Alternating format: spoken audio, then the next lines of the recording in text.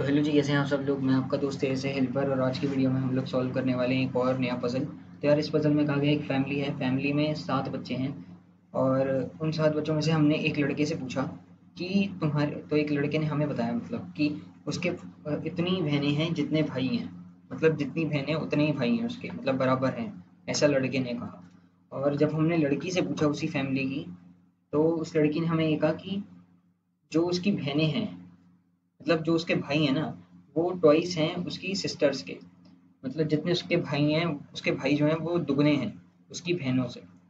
तो क्या तुम ये बता सकते हो कि टोटल कितने बहन भाई थे फैमिली के अंदर? तो मैं चाहूँगा यार वीडियो को पॉज करें और एक बार सोचें, ये बहुत ही आसान मसल है।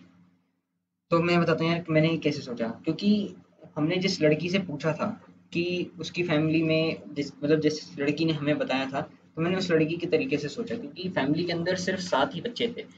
और मैंने एक लड़की से पूछा तो बच्चे कितने बच गए? बच्चे बच गए यार छः तो छः बच्चों में यार अगर बहन और भाई में अगर हमें बताना होगा तो जो भाई होंगे, जैसे कि बोला कि वो डबल होंगे तो छः बच्चे बचे। तो डबल कैसे होंगे यार? अगर दो लड़कियाँ होंगी, तभी तो चार भाई होंगे, जो कि डबल होगा। टू का डबल ही तो फोर होता है। तो अगर दो बहनें हैं तो चार भाई हो जाएँगे। ये हो गया डबल और मैंने एक बार लड़के के तरीके से भी सोचा, क्योंकि मैंने एक लड़का, एक लड़के से पूछा था तो बच गए कितने बच्चे?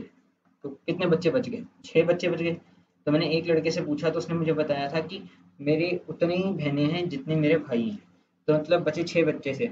तो मतलब बहन और भाई बराबर होंगे तो तीन तीन हो गए। तो यहाँ से भी मुझे पता चल गया कि तीन लड़के हैं और तीन लड़कियाँ हैं। और एक लड़का जैसे हमने पूछा था तो टोटल लड़के हो गए चार और लड़कियाँ हो गई तीन। तो इससे हमें ये पता चला कि फैमिली के अंदर सात बच्चों में से चार लड़के थे और तीन लड़कियाँ थी। तो यार, इस पजल में बस इतना ही था। मैं आपका दोस्त ऐसे हेल्पर मिलता हूँ आपसे अगले वीडियो में, एक नए पजल के साथ।